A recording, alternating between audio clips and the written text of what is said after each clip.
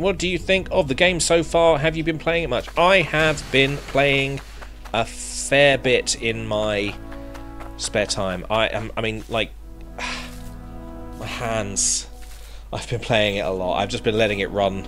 It's been good. My absolute favourite part is the money bin. Just filling these up with gems. I, I, I feel like there should be like more more gems. Like the further down you get like quartz, amethysts maybe. The new DLC comes with a super shiny diamond gem.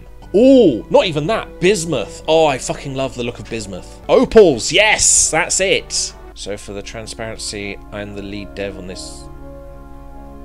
Oh, you're that Max. Hello. Ah! You cunt! You cunt! You absolute dickbag! Oh, my notification's just called the lead dev of Hydroneer a cunt. I'm sorry.